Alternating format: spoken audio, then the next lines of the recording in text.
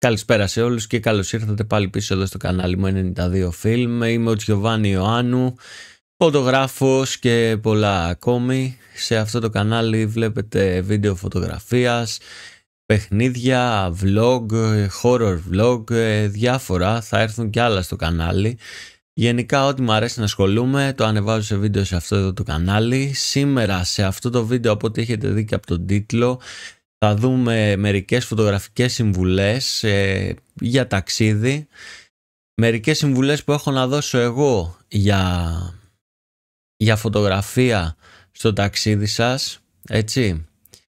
Πώς να βγάλετε καλύτερες φωτογραφίες στα ταξίδια σας.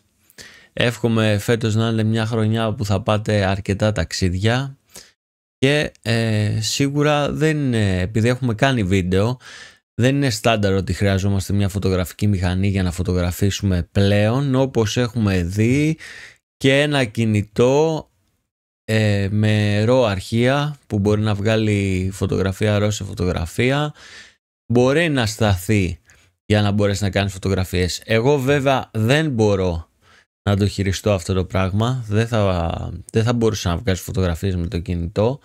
Το κινητό το έχω πιο πολύ για να τραβάω κάτι πολύ γρήγορο ε, όταν δεν έχω κάμερα μαζί. Αλλά η κάμερα είναι άλλη έμπνευση για να μπορέσεις να βγάλεις φωτογραφίες ακόμα και σε ένα ταξίδι που θα πάω. Τέλος πάντων, ας περάσουμε να σας πω μερικές από τις συμβουλές που έχω να σας δώσω. Όπως σας είπα, ε, η έμπνευση δεν χρειάζεται φωτογραφική μηχανή. Μπορείτε και με το κινητό τηλέφωνο να φωτογραφίσετε πάρα πολύ καλά.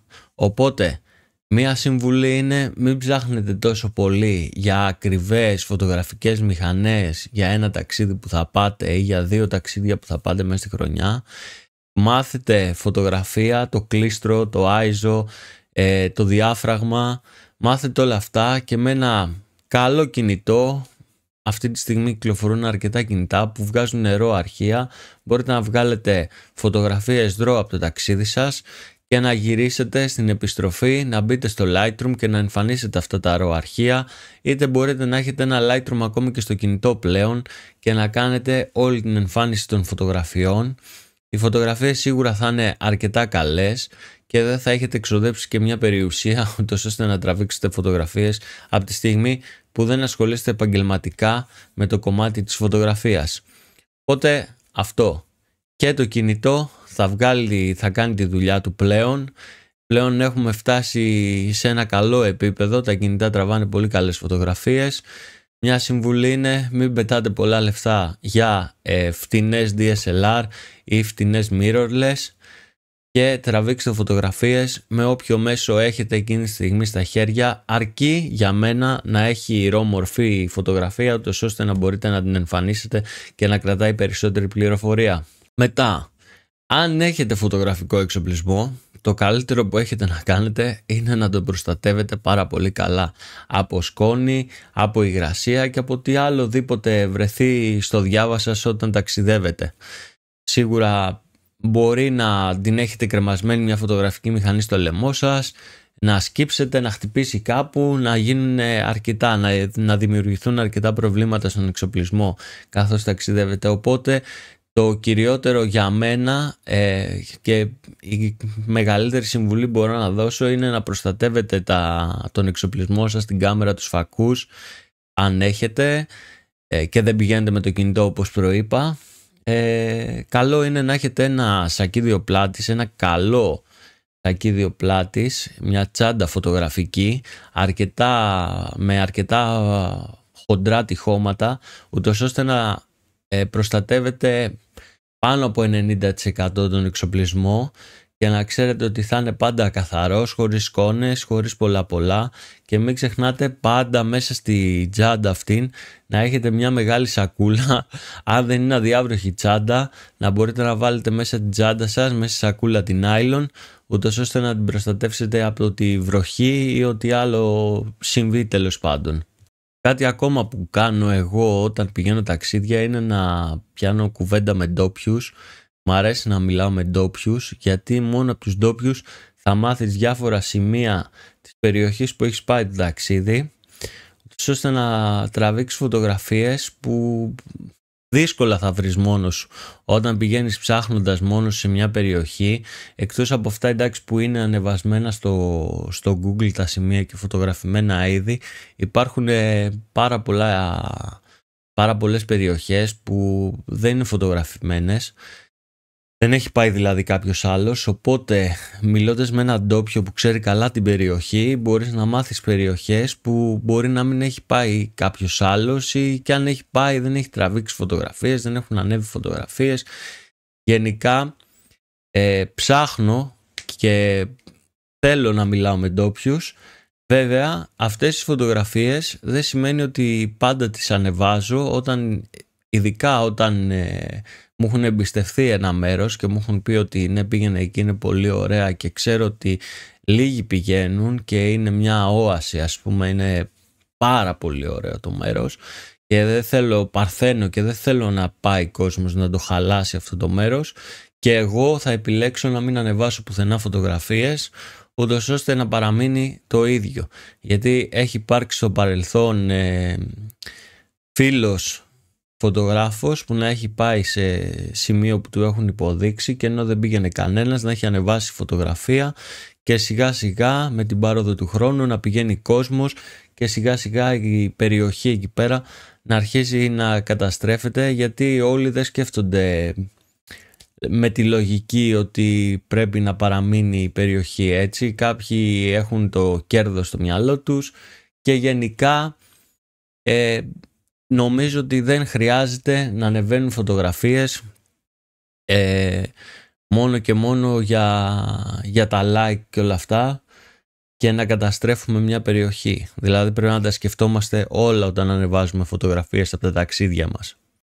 Τώρα έμπνευση για να φωτογραφίσουμε στα ταξίδια θα πάρουμε από παραδοσιακά πράγματα, από πράγματα τα οποία ε, ανήκουν στο παρελθόν και σιγά σιγά χάνονται από λαϊκή αρχιτεκτονική, από πράγματα που στο μέλλον ε, πιστεύω ότι σιγά σιγά θα αρχίσουν να, να φεύγουν, ε, δεν θα έχουμε εικόνες πλέον, οπότε καλό είναι να τα φωτογραφίσουμε και να μένουν φωτογραφημένα.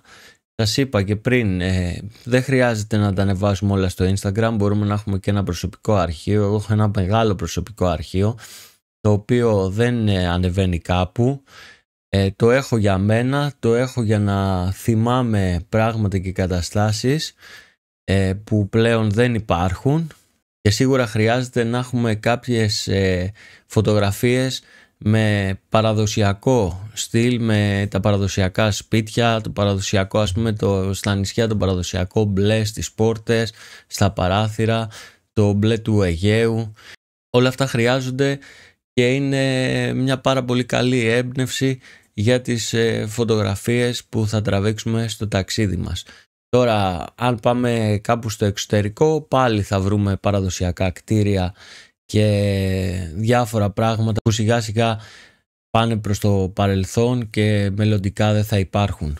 Γενικά η φωτογραφία στο ταξίδι είναι θα έλεγα κάτι το οποίο είναι δύσκολο να γίνει γιατί όταν έχεις το, το μυαλό σου στη φωτογραφία, στο πλάνο, στο καρέ, στο ε, να εστιάσεις κάπου, φωτογραφικά πάντα, η φωτογραφική ματιά, βλέπεις με φωτογραφική ματιά, χάνεις κιόλας την εμπειρία όλου του ταξιδιού, δηλαδή δεν βλέπεις όλα τα πράγματα γύρω σου, είσαι πιο συγκεκριμένος, ε, στοχοποιείς πράγματα που θες να φωτογραφίσεις, Οπότε χάνεις και όλη τη μαγεία του ταξιδιού. Γι' αυτό μην είστε τόσο κολλημένοι με, το, με τη φωτογραφία. Γι' αυτό και πολλές φορές που με ρωτάνε στο Instagram ή στο Facebook και μου λένε να πάρουμε μια φωτογραφική μηχανή γιατί θέλουμε να πάμε ένα ταξίδι. Τις περισσότερες φορές τους ε, απαντάω όχι δεν χρειάζεται.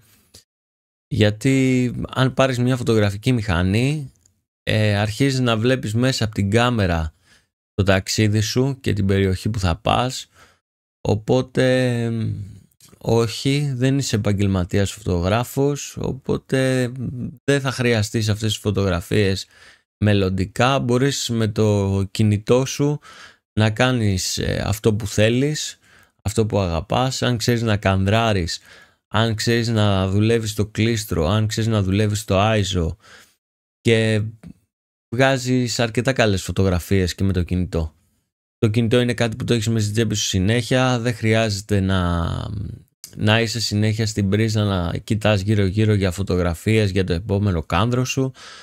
Οπότε ναι, πιστεύω ότι σε ένα ταξίδι κάποιος που δεν είναι επαγγελματίας φωτογράφος με είτε ερασιτέχνης και οι ερασιτέχνες φωτογράφοι να πω εκεί ναι το χρειάζονται αλλά κάποιος που δεν ασχολείται καθόλου με τη φωτογραφία και απλά πάει ένα ταξίδι ε, αν μου έλεγε να πάρω μια κάμερα θα του έλεγα όχι μείνε με το κινητό σου ε, οι περισσότεροι έχουν ένα καλό κινητό είναι πολύ καλύτερο το ταξίδι όταν έχεις ε, την εμπειρία, όταν ζεις την εμπειρία του ταξιδιού και δεν είσαι focus στο να βγάλεις φωτογραφίες.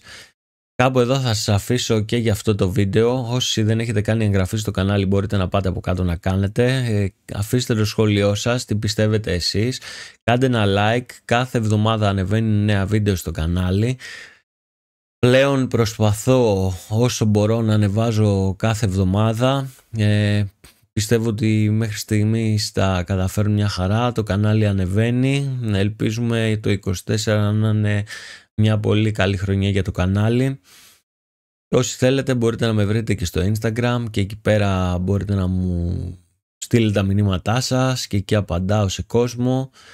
Οπότε κάπου εδώ θα σας αφήσω. Τα λέμε πολύ σύντομα στο επόμενο βίντεο. Γεια σας.